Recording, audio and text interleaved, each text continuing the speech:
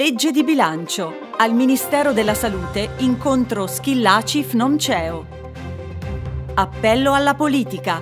Più risorse per valorizzare il ruolo dei medici. Invisibili. Presentato lo spot Fnomceo sul disagio della professione medica.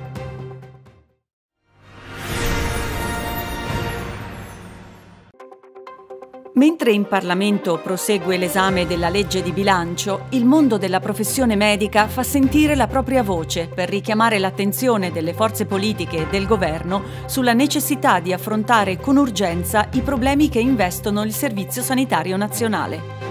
A farsi carico di una situazione che rischia di diventare insostenibile per i professionisti e di ripercuotersi negativamente sulla qualità delle prestazioni per i cittadini, la Federazione Nazionale degli Ordini dei Medici Chirurghi e degli Odontoiatri, che ha promosso un approfondito confronto con le organizzazioni sindacali del settore e per trovare risposte alle istanze della professione medica si è svolto al Ministero della Salute il primo incontro ufficiale del ministro Orazio Schillaci con una delegazione della FNOMCEO guidata dal presidente Filippo Anelli. È stato proprio il presidente Anelli, insieme al vicepresidente Giovanni Leoni, al segretario Roberto Monaco e al vicepresidente della CAO nazionale Brunello Pollifrone, a rappresentare al ministro le richieste dei medici italiani, chiedendo che le professioni sanitarie siano finalmente protagoniste del sistema salute. In particolare Anelli ha sottolineato la grave carenza di medici sia sul territorio che nelle strutture ospedaliere e ha richiamato l'attenzione del ministro Schillaci sui livelli retributivi del personale medico e sanitario, tra i più bassi in Europa.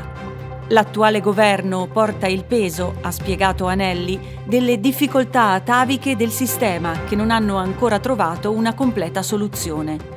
Per questo è importante riannodare i fili e avviare un dialogo. Con questo obiettivo abbiamo chiesto al Ministro di convocare la consulta delle professioni sanitarie e di incontrare i sindacati medici, recependo anche su questo versante una grandissima disponibilità. L'intento comune, ha concluso, è quello di salvare tutti insieme il nostro Servizio Sanitario Nazionale. Al centro del colloquio anche l'educazione continua in medicina, che, ha sottolineato il segretario Monaco, deve essere rinnovata valorizzando la formazione sul campo e alleggerendola dalla burocrazia. Al Ministro è stato chiesto perciò di convocare appena possibile la Commissione ECM. Il ministro Schillaci, da parte sua, si è detto fiducioso nella possibilità che le istanze dei medici e del personale sanitario possano essere recepite, ma ha ricordato che le difficoltà di oggi sono il risultato di tagli e definanziamenti alla sanità effettuati dai passati governi, fino a quando, con la pandemia, non si è acquisita la consapevolezza dell'importanza della salvaguardia della salute pubblica. In conclusione, valutazioni positive sui risultati dell'incontro sia da parte del Presidente Anelli che del Ministro Schillaci. È stato un incontro molto proficuo, devo dire anche caratterizzato dal fatto di affrontare tematiche che sono ovviamente di grande interesse per il Paese e qui la sensibilità del Ministro Schillaci è stata molto ampia, soprattutto nei confronti della professione medica e delle professioni sanitarie. Cambiare un sistema piano piano provando ad intervenire anche sui finanziamenti che oggi sono strettamente correlati con la crisi energetica. Abbiamo rappresentato al Ministro la necessità di puntare sulle professioni.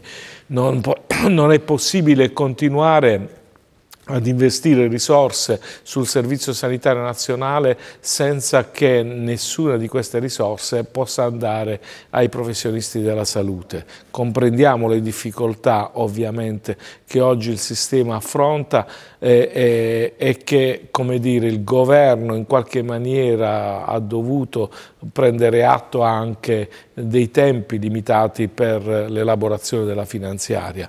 Però resta naturalmente il disagio profondo della professione medica di non vedersi riconoscere quelle aspettative di cui tutti i professionisti oggi sanitari attendono dal governo.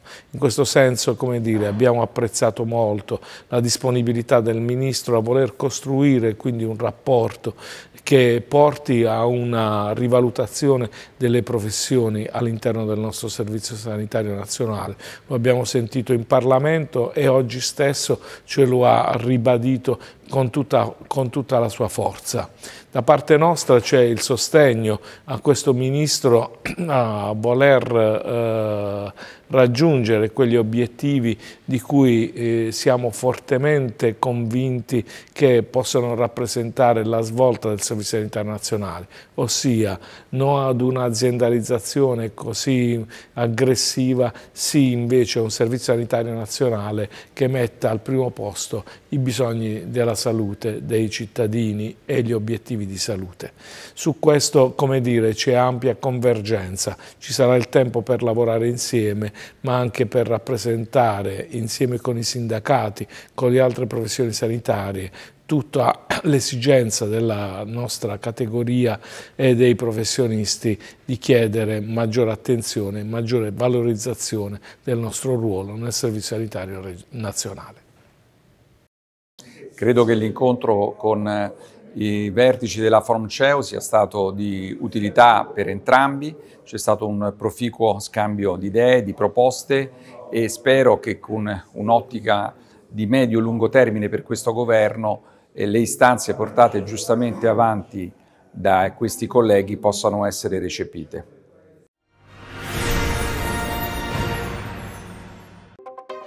Una conferenza stampa prima dell'incontro col ministro Schillaci per chiedere alla politica di sostenere il Servizio Sanitario Nazionale con più risorse e più personale e per garantire la salute di tutti. È stato questo il senso dell'incontro che si è svolto nella sede della FNOMCEO a Roma, con giornalisti, sindacalisti ed esperti del settore sanitario per presentare lo spot Invisibili Un'iniziativa promossa dal presidente della FNOMCEO Filippo Anelli, che ha consentito di raccogliere le indicazioni dei diversi comparti della professione medica in vista degli appuntamenti istituzionali nei quali rivendicare l'attuazione degli interventi necessari alla messa in sicurezza del sistema sanitario, valorizzando il ruolo dei professionisti della salute delusi per la mancanza di riconoscimenti. Sempre più medici lasciano il sistema sanitario nazionale perché questa professione sta perdendo attrattività, ha spiegato il presidente Anelli, anche a causa dei carichi di lavoro, di un aumento del burnout e una retribuzione tra le più basse in Europa. Eppure, senza medici, senza professionisti sanitari, non può esserci un efficiente servizio sanitario nazionale. È questo l'invito che rivolgiamo al governo. Investiamo sui professionisti, mettiamo più risorse, diamo loro più peso nelle decisioni e nella gestione della sanità. Solo così potremo conservare il nostro servizio sanitario nazionale. Un disagio denunciato con forza nel corso della conferenza stampa anche dal segretario generale della FIMG Silvestro Scotti, del Sumai Assoprof Antonio Maggi e dell'Anaao Assomed Pierino De Silverio. Beh, la legge di bilancio è il momento focale per comprendere questo Paese che cosa programma per la salute dei cittadini e che cosa programma per la salute territoriale. In questo momento nella legge di bilancio non c'è assolutamente nulla per quello che riguarda la medicina generale. Noi richiediamo innanzitutto che venga parificata la condizione dei medici convenzionati a quella dei medici dipendenti rispetto all'una tantum che è stata prevista relativamente al 2023 è la seconda volta che si fa un momento di bilancio nel quale viene cassata da una manina probabilmente del MEF il eh, passaggio che riconosceva ai medici convenzionati gli stessi diritti economici dei medici dipendenti e della pubblica amministrazione. Noi se siamo assimilati al pubblico impiego ne ricaviamo le responsabilità rispetto alla Corte dei Conti per appropriatezza economica e per altri motivi contrattuali dobbiamo assolutamente essere equiparati anche sul piano economico perché oltretutto noi lamentiamo anche rispetto agli aiuti che sono determinati in altri capitoli di bilancio della finanziaria o dei decreti cosiddetti aiuti la assoluta assenza della considerazione rispetto a quello che siamo. Un medico di famiglia non è solo un professionista intellettuale che eroga un servizio per i suoi pazienti rispetto al servizio sanitario nazionale, ma è anche un'impresa. Ha eh, collaboratori suoi dipendenti, ai quali abbiamo corrisposto gli aiuti previsti dal governo nei 200 e 150 euro anticipandoli noi per poi sottrarli dai versamenti successivi, non riusciamo a capire perché rispetto a tutti i provvedimenti che vanno ad aiutare le imprese alle quali l'Europa in quanto possessori di partita IVA ci allinea, noi non riceviamo aiuti, nonostante noi non abbiamo possibilità di variazione di parcella o dei nostri margini. Il nostro margine rimane fisso in un contratto che oltretutto è bloccato dal 2000 al 2019 perché ancora non abbiamo, siamo riusciti ad ottenere l'atto di indirizzo per il 19-21 e dall'altra parte non riceviamo nemmeno gli aiuti che permetterebbero in qualche modo ai medici di assorbire l'aumento dei costi che oltretutto per medici che sono vicini alla pensione, che quindi fanno il calcolo di come gli stanno aumentando i costi delle materie prime,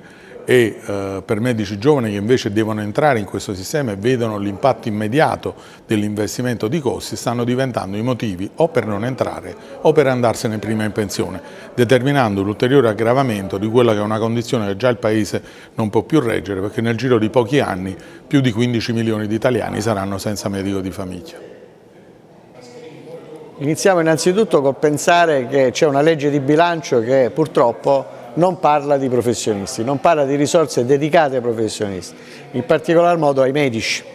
E ovviamente senza medici non possiamo pensare di fare un servizio sanitario nazionale, di avere un servizio sanitario nazionale e di avere comunque una sanità.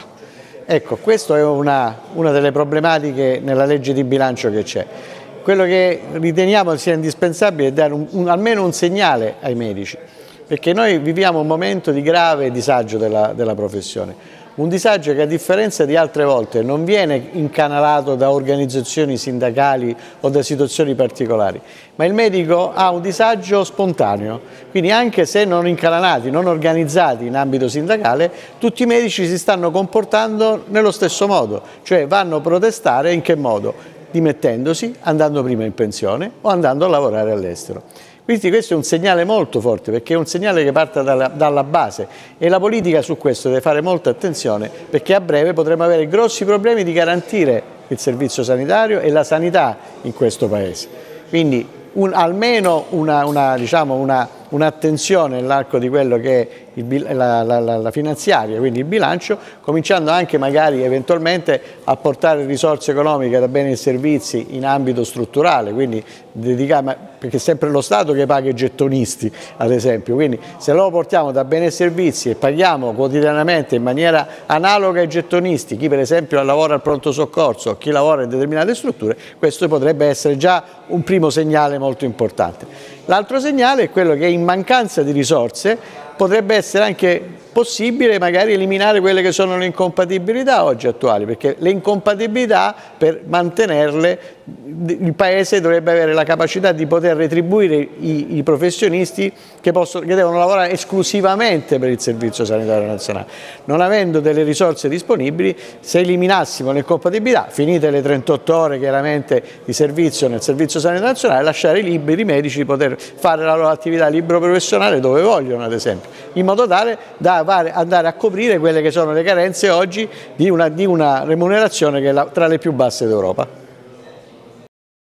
un segnale di dignità al professionista, una flat tax solo per il privato non ha senso perché allontana ancora di più il professionista dal sistema pubblico, estendere la flat tax anche ai dipendenti, agire sul sistema di formazione perché dopo due anni e mezzo di pandemia in cui abbiamo fatto formazione sul campo è inammissibile essere sottoposti al ricatto della carenza o dell'assenza di assicurazione nel momento in cui non dovessimo raggiungere i crediti formativi previsti. In ultimo, sediamoci ad un tavolo, inventiamoci realizziamo un nuovo modello organizzativo perché questo modello non porta lontano. A portare il suo contributo in base ai dati raccolti dalla Fondazione Gimbe anche il presidente Nino Cartabellotta. In questo momento sarebbe necessario uno sforzo quantitativo in più in termini di finanziamento del fabbisogno sanitario nazionale e fare in modo che una parte di questo venga vincolato per il personale sanitario. Il rilancio delle politiche del personale sanitario rappresenta una priorità assoluta perché la colonna portante della sanità pubblica è proprio rappresentata da quei professionisti che nel momento più difficile della storia del servizio sanitario abbiamo chiamato eroi e che adesso hanno bisogno di essere adeguatamente ricompensati.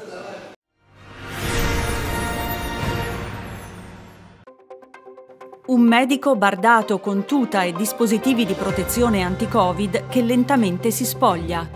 A mano a mano che gli indumenti cadono sul pavimento, la figura scompare e ci si rende conto che il medico diventa invisibile.